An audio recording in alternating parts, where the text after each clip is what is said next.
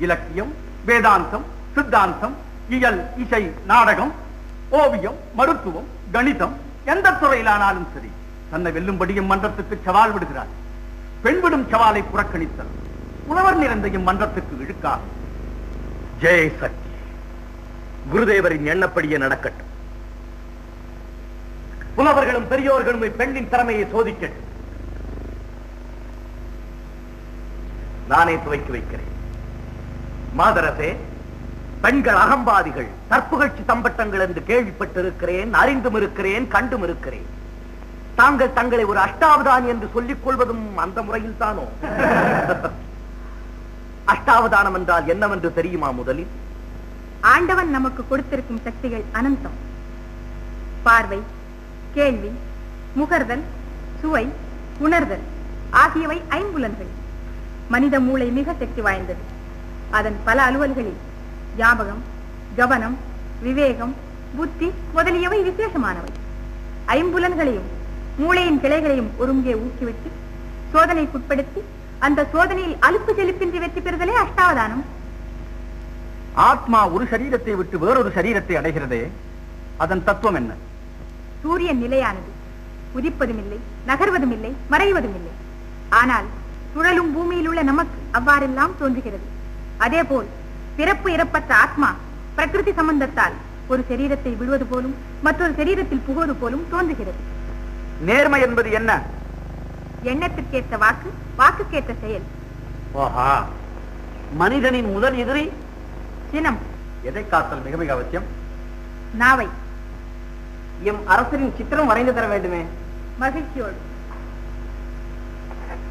இம்முத்தாரத்தில் எத்தனை மனிதன்? அப்படியா? ஆரோகணம் அவரோகணம் இரண்டிலும் சதுஸ்ருதி ரிஷபம் அந்தரகாந்தாரம் பிரதிமத்திமம் சதுஸ்ருதி தெய்வதம் காக்கலி நிஷாரம் இவைகள் வரக்கூடிய கர்த்தாராகம் எது? கல்யாணி. பாடி காட்ட முடியுமா? ஆனா ஆனா தனினா. ஆனா தனினா.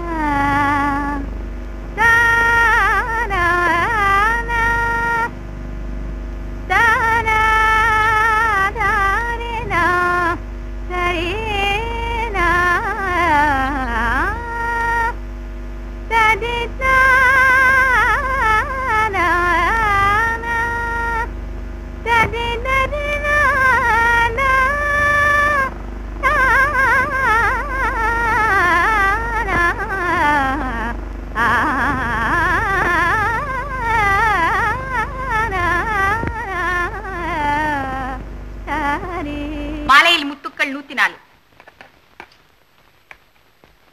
இதோ அரசர் படம். தங்கள் மீது வீசப்பட்ட மலர்களின் எண்ணிக்கை அறுபத்தி ஏழு ஆம். இந்த மகரந்தம் எந்த மலருடையது? முல்லை மலர். ஓ. இந்த முத்துக்கள்? நல்முத்தல்ல.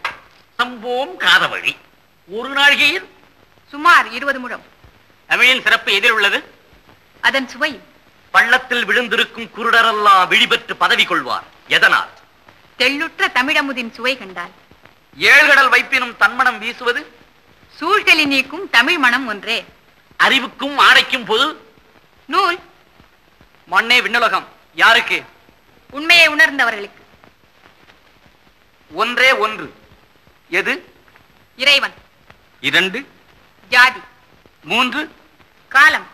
நான்கு. மறைகள். ஐந்து. புலன். ஆறு. ஏழு? ஸ்வரம்.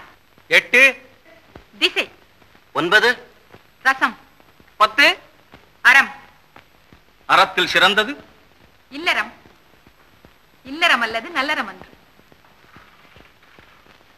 இல்லறத்திற்கு ஆதாரம்? காதல். காதல்? ஆம். இயற்கையிலே எல்லாம் காதல் மயம். காதலே இயக்குகிறது ஜீவனை. காதல் குடிகொள்ளாத ஜீவன்? நீரற்ற ஆறு நிலவற்ற வானம். காதலில் விளைவது? இன்பம். இன்பத்திலும் பெரிது. பேரின்பம். இன்பம் இல்லாவிட்டால் பேரின்பம் இல்லை. இன்பம் மரம். பேரின்பம் பழம். இன்பம் மலர். பேரின்பம் மனம். இன்பம் பேரின்பம் இரண்டையும் இசைத்து பாட முடியுமா?